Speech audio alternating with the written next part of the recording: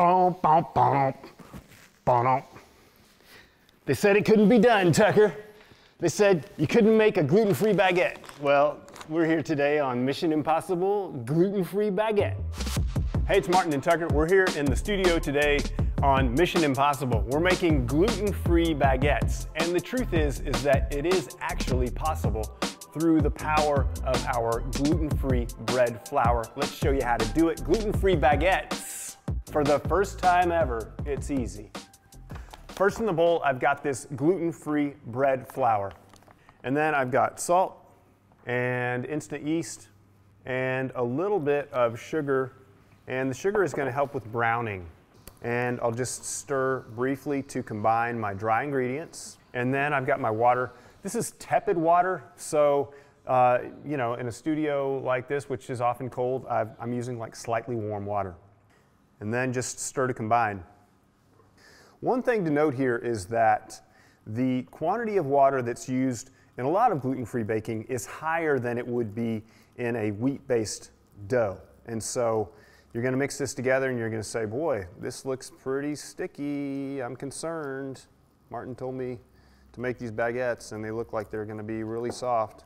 Um, but as the starches hydrate, they will absorb that water and having that high water content, as with a wheat-based dough, will help us to get a more open crumb. And I'm just stirring this to smooth it out. This is not a dough I'm gonna put on the counter and knead. It's too sticky for that. But during fermentation, you're gonna see it firm up and it'll actually be relatively manageable by the time we go to divide and shape. And that's it. I'm gonna cover and let it rise for 15 minutes and then we're gonna give a fold. Okay, 15 minutes. So after 15 minutes, I'm going to give the first fold. I like to have a little bit of water, and you can use your hand for this. This is just a regular bowl fold for those of you who are making bread at home. This is a bowl fold. In this case, with the gluten-free, I like to use a flexible scraper. So a little bit of water, and then I just come from the outside and press into the middle, sort of turning the bowl as I go. And this is helping to just smooth it out. It's just sort of smoothing that dough out a little bit. And that's it. And make sure that in between the folds, as always, use a moisture-proof cover. Use something that's sort of airtight, and that will keep us from drying out. Another 15 minutes, and then we'll come back and fold again. Okay, fold number two. Let's see what's going on here. You can see how this dough is already smoothing out some. So again, with my flexible scraper, I'm gonna come in and from the outside to the middle, I'm working my way around the dough. And you can see this looks like, looks like dough. One of the things I like about this is that it's starting to feel like something that I recognize. Most of my experiences with gluten, right? And so one of the sort of amazing things about this is that it does actually begin to feel more like what I would expect from a dough that has gluten. Except it doesn't. That's good. We'll leave that for another 15 minutes and we'll fold it again. Working with this flour, I get excited to bake with it. And I will just say that this flour developed by our test kitchen and innovation team is the best that I've worked with in terms of gluten-free bread making. I never really thought I could make a baguette that was gluten-free before this. So that's why I look excited when I come to work with this dough. Okay, this is fold number three. Let's just get in here and do it. Beautiful, smooth dough. Look at that. That looks good to me. Okay, fourth fold. And same as all the others. I'm just working around the bowl, lifting the dough, pressing it into the center. And, you know, don't be too uptight about these folds in terms of the timing. There is some flexibility in there. If one goes 30 minutes and one goes 15 or one goes 10 and then another one goes 25, don't stress about that. You just, over the course of fermentation, want to gather and press and sort of help the dough to smooth out. That's it. Okay, so I've got a beautiful marshmallowy dough. Um, the last rise, the untouched portion, is 60 to 75 minutes. If it goes 90 minutes, don't fret, that's all good. This is a very stable dough. It's not going to collapse in the same way that a uh, glutinous dough might. Okay, so a little bit of flour on the top, and then I'm just going to invert it. Whoop, and I'm going to divide this into three pieces. They're about 300 grams each, give or take, somewhere around, right around there. Now what I'm going to do is give what I would call a tubular pre-shape. And the reason for the tubular pre-shape is to help us make a more even final form. So this is like a stop along the destination to beautiful baguette. So a little bit of a pre-shape, which makes a tubular form so that when we go to roll the final, it's a little bit more even. So I pat it sort of in this direction, I give it some pats, and then I come from the outside and I just pat with only the pressure required to sort of make these pieces stick together. And then I just roll down from the top. And then when we go to roll the baguette, because I'm already with this shape, you can see that all I really need to do is gently and evenly roll side to side, and then we're pretty much there. So there's my first one. Let me show you again. I pat gently to degas. And if you've shaped baguettes before, you'll recognize this. You can see lots of videos on the YouTube channel of us making baguettes that are not gluten-free. But the technique is very similar. And the beautiful thing is that this good flour allows me to use some of my artisan skills and apply them here. Okay, so there's my second tubular pre-shape. It's tubular. Okay. Last one. Again, patting gently, sort of on an east-west axis to get an even thickness. And then coming in from the outside, I'm just going to fold it a little bit to square off those sides like this. And if you've got a little bit of a funky situation there, just roll with it. Just, we like the funk. Okay.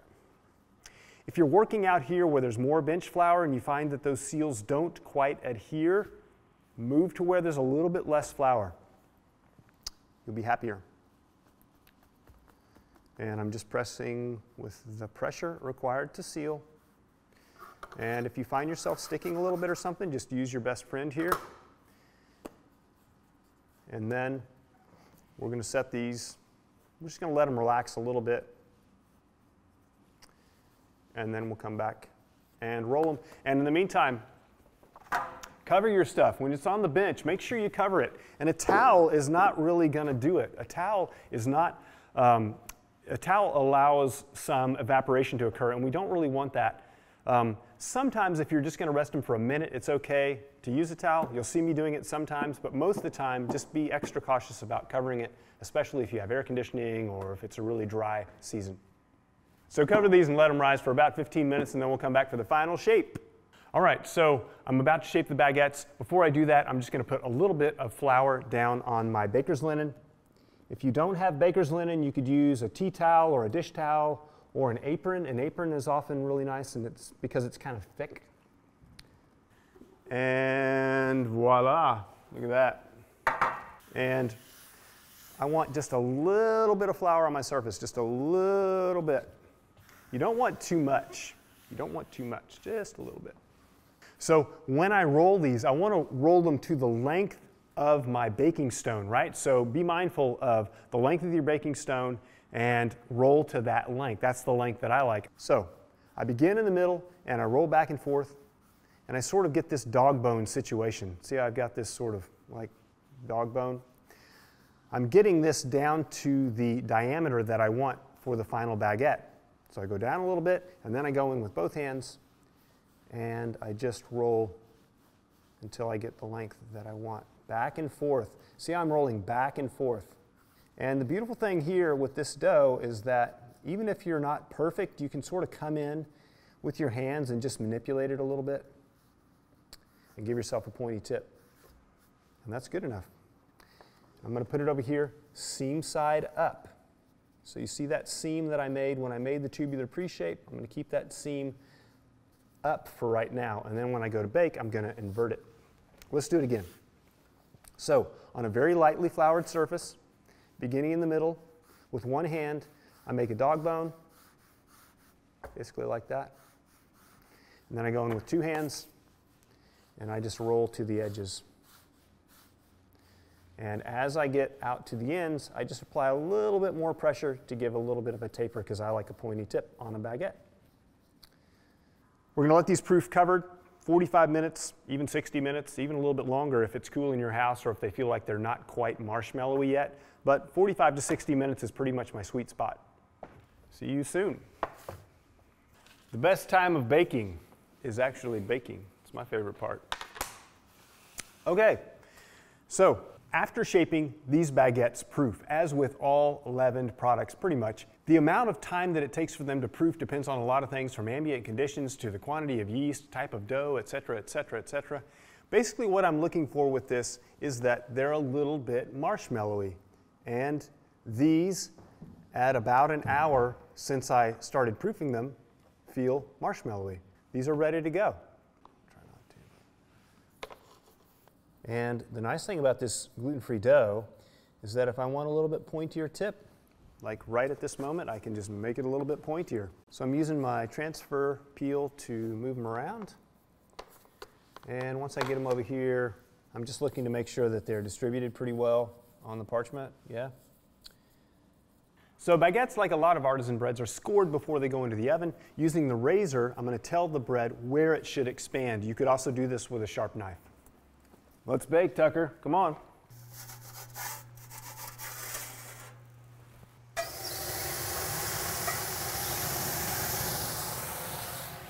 Woo!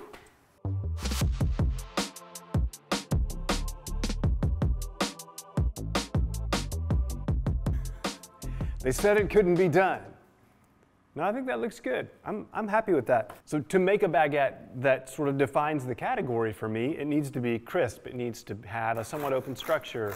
I didn't think it was possible. And then we developed this bread flour and I was like, oh, I gotta try that. Like the carrot of challenge was too much to resist. It smells malty. I mean, it's super crisp. Listen to this. This is not some squishy, gluten-free sadness. Looks like actually artisan bread.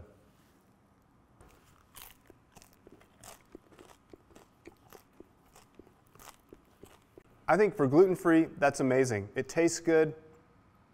I'm happy. I mean, listen, like a couple years ago, someone would say, "Oh, Martin, you should make a gluten-free baguette," and I would like laugh out loud because I thought it's impossible. It's not possible. And I don't know if I told you this, but um, I made some at home and I left them out on our bread bench where there's always a collection of different breads and stuff. And uh, nobody realized that they were gluten free, which to me was like, that's kind of confirmation. That's all the confirmation I need because I have some like very um, well educated baguette eaters at home. Yep, so gluten free baguette, crusty. I mean, it's crisp one thing that I would note about the bake, and that is don't be shy about leaving them in the oven. Um, you can even turn the oven off and let them coast for a while and pull out some more of the moisture. The starches that are used in the flour blend require more water, and so the dough has more water, so it takes more time to get a crisp crust. So don't be shy about leaving them in the oven. Bake to full color uh, for best results. Beautiful bread. I'm happy gluten-free baguettes.